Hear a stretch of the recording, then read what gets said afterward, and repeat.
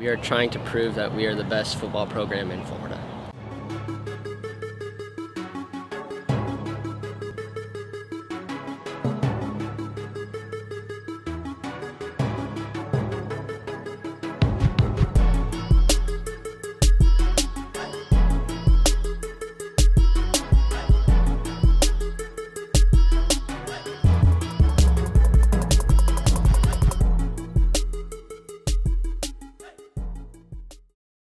Hard work and dedication and commitment to something will bring you success. Without any one of those three things, I don't care what you're doing, whether it's a sport or business or anything else, if you're not willing to work hard and commit yourself to what you're doing, you're not going to be successful. I joined Stanton football the spring of freshman year. Um, freshman year when I started playing JV.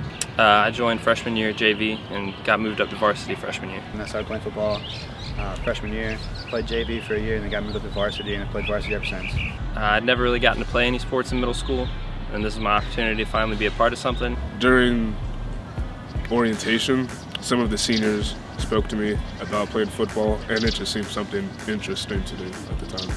I always liked football, and I always felt like I was good at it. So when I came here, first thing I did was try to find out what the football team, like how they work and stuff. First thing is you spend all weekend studying film. You give the kids uh, weight, uh, you, uh, the game plan on Monday. They lift weights on Monday. Then they go out and get a game plan. That's in shorts. Tuesday and Wednesday we're in full pads and we kind of uh, run into each other a little bit harder uh, working on the game plan. Thursday's a walkthrough and then you usually play on Friday. It's really fun. I love coming out here on the field every day, every Friday playing a game. I love it. As a team, we definitely bonded more. Uh, we've been struggling just a little bit. It's been difficult because we've had a whole bunch of injuries. Uh, we were playing Raines, which wasn't supposed to happen that week.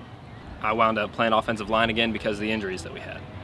So when that happened, I kind of, the play was over, I got pushed from the side, and when I came down, my foot kind of got caught in a weird position and broke my fibula. The two teams that we, two games rather that we won, we had our team intact.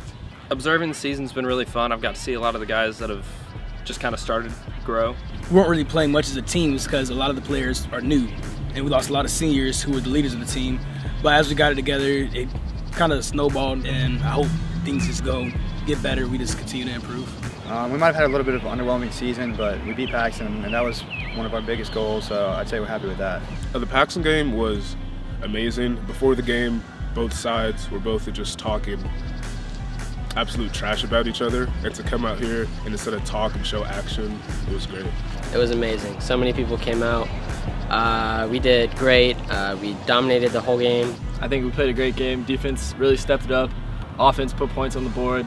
We won by 10, 11. Can't ask for anything else. It's fun. Three years in a row. All the guys wanted to wear the three-peat shirts. Paxon might as well just sign up and play someone else. They just, I think they've just resigned themselves to their fate of losing to us. Uh, coach Hughes is a great coach, great guy, um, takes it so seriously, puts us in the best opportunity to win every week. I mean, he's a great coach. Coach, he's on understanding. He puts people at positions they think they're good at. He notices when things are going wrong, changes it up. It's amazing. Uh, he know he's been in the football program for a long time now, uh, and it's just great to have a coach that has a lot of experience. I love Coach Healey. He's been one of my favorite coaches I've ever had. Been through many coaches, and he's been one of my favorite. He's really helped me grow as a person, as a football player, and very grateful for the time I spent with him. We've been able to become very competitive here. And I enjoy the kids there. Have, you know, most of them have great character and they're intelligent. And it's, it's a lot of fun. It's kind of been my life for all of high school. Fortunately, when I hurt my leg, kind of ended my season a little early, but I wouldn't trade it for anything. We've been through thick and thin together, and I think we got it. It kind of gives you a, a little bit extra sense of purpose when you go to practice and know that you only have a couple left. You got to give it everything you got. Definitely nostalgic. You know, makes you think about what you're doing every day in practice. How it might be the last time you do it, but you know, it's it's been a good run. You know, these guys are my brothers, and I'm gonna remember these guys for the rest of my life. So I really plan on remembering all of this.